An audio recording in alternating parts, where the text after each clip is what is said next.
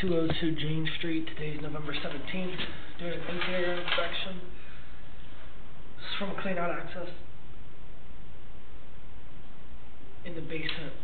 Push out to a house trap. I'm going to pull back from here. I'm going to attempt to locate this house trap. After this video, do not see access in the basement or in front of the house at this time.